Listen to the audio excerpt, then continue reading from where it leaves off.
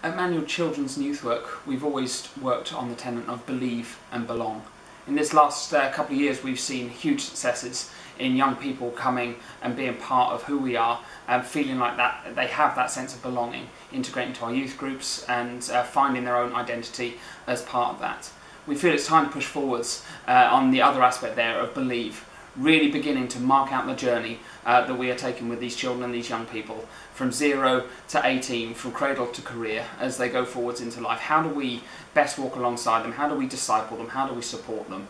One of the questions we're asking at the moment uh, is uh, how do we mark the journey we have with them? Because we can't know where we're taking, we can't understand steps of faith going forwards unless we know where we've come from, unless we see what God has done on our journey so far in 1 Samuel, there is a, a moment where Samuel raises uh, a pile of stones, an altar to the Lord, that, he, that uh, remarks this is where God helped us. This is where God was here for us. And it's called Ebenezer.